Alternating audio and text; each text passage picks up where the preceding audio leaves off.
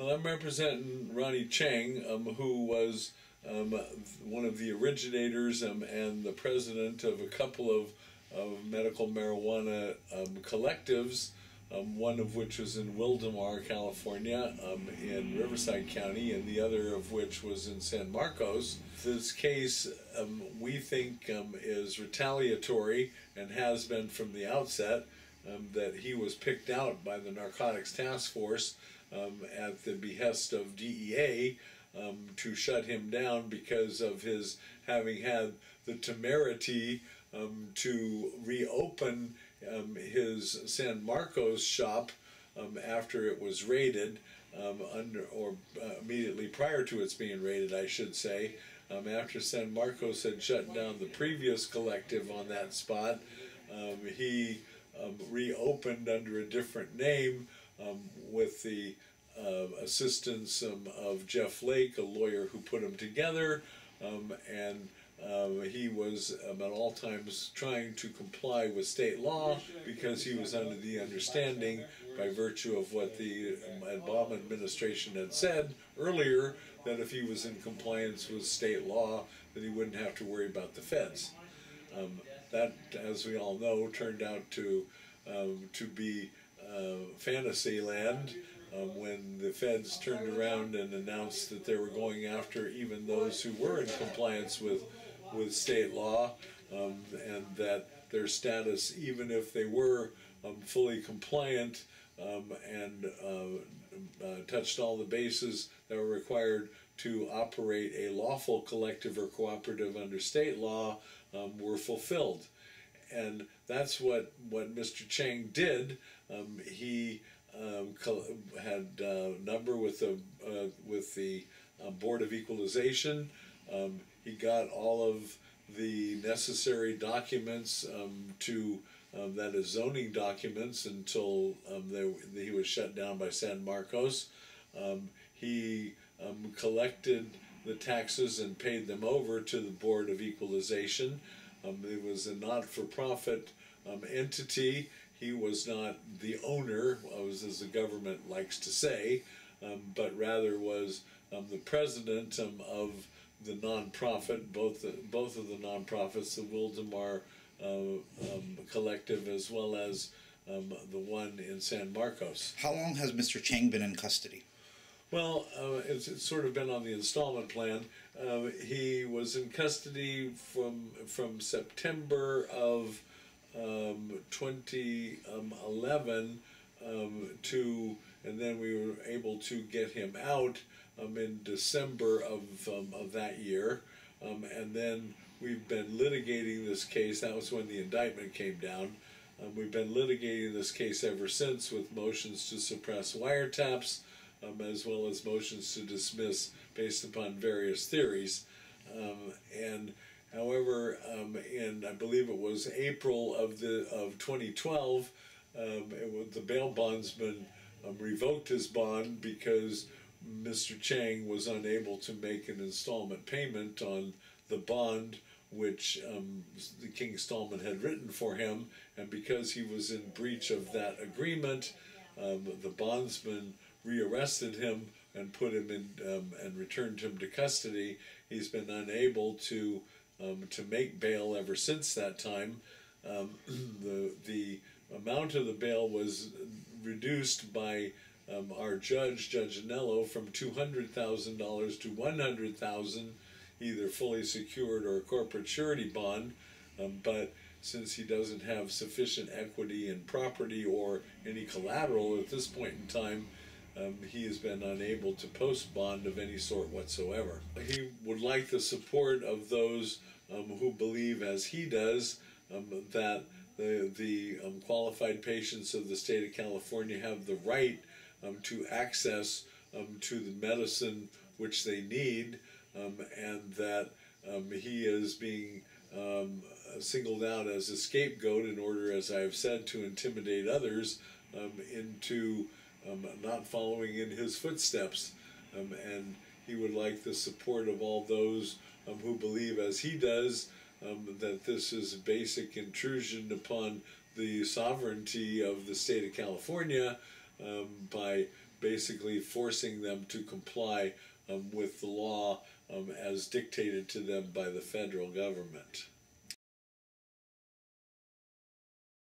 Um, the case began way back in 2009 um, when the city of San Marcos um, took action against um, the collective, which was at that time called MMSC, um, and that was uh, they were shut down by the city of San Marcos in June of 2009, um, and then um, in September of 2009, um, his two collectives um, were um, well, that one was one of 13 collectives which were raided by the the Narcotics Task Force, um, but uh, um, his was the only one in which charges were ultimately filed um, in state court originally, um, and uh, that occurred in in April of 2010. It took him a while to get around to filing charges, um, and the strange thing about the, this case was that.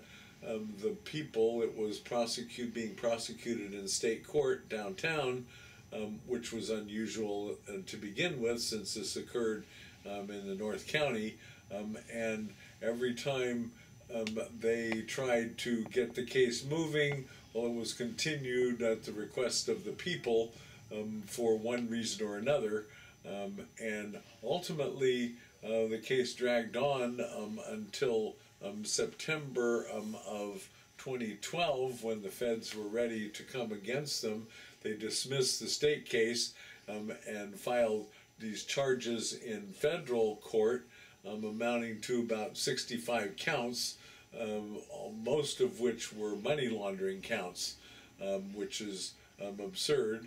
The problem with a, with a collective and a cooperative is that the banks won't allow you to open a bank account, um, and so your choice is to put the put the money in your name or um, do some or hide it under the mattress, um, and he certainly wasn't going to do the second one. Um, so he was depositing the money into his mother's account so so that it would be safeguarded and um, for the benefit of the collective. And of course, the government thinks that that was money laundering um, uh, and added those counts.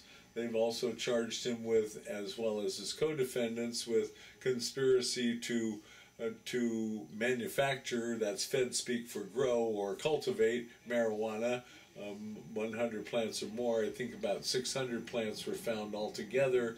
Uh, that included the member growers um, who were growing for the collective. There were five or six of them, and they pooled all of the marijuana to come up with a more than 100 plant um, uh, threshold um, to make it a five-year minimum mandatory. Then they threw in possession with intent to distribute more than 100 kilos, conspiracy um, to distribute marijuana to individuals under the age of 18, um, because their uh, theory being that since you can get a card at age 18, um, then they conspired to distribute marijuana to minors, um, and uh, then um, these uh, I'm, I'm sorry I can't give you the exact number. Well, I could if I pulled out the indictment, but in any event, we're talking about 64, 65 counts, um, the, about the vast majority of which are these manufactured um, uh, money laundering counts. 65 counts or 64 counts, is that normal for a case like this, or is this trumped up?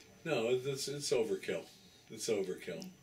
Um, and I think that I, I, I, think that the sheer number of counts which they filed is supposed to designed to intimidate us into folding up, um, but you know, uh, whether they have 65 counts or 600 counts, um, well, we're talking about the same situation. If this case had gone to state court, um, would this have even gone to trial? And if it had, would he would would would he win? Yeah. So if that case um, had hung around long enough, um, they um, the the people would not have been able to get the case to the jury because there would have been insufficient evidence as a matter of law.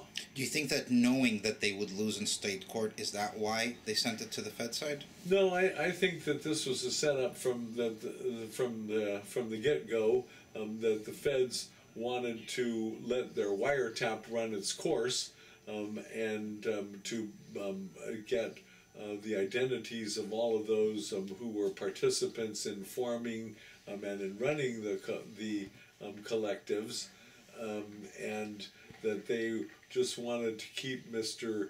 Um, Chang on ice until they were ready to spring their indictment, which is exactly what they did.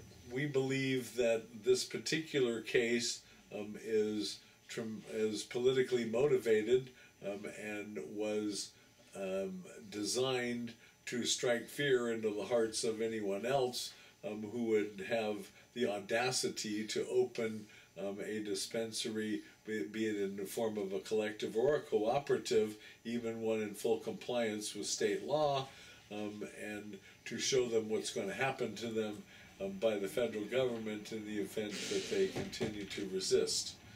Um, we would obviously like as much support um, from as many people as we could, as we can get, um, to um, assist us in trying to turn back this latest attempt at squashing the rights of patients and their and their lawful providers, um, and as well as um, trying to eliminate the collectives and cooperatives, um, even those which are in full compliance, such as the one um, uh, operated by Mr. Chang and his co-defendants. In addition to supporting him or showing up to court, what else can people out there do uh, that want to help or support this case?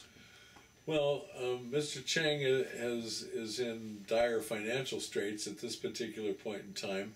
We're not asking for contributions for his defense fund, um, but um, he is the sole caregiver of his 85 year old mother, um, and um, she's living by herself now, and uh, he has been unable to provide for her. Um, I understand after talking to her today that she's about to be evicted from her latest place of residence, and the landlord has gone so far as, as to cut off the water. And she was gathering rainwater today um, to to use um, because of that circumstance.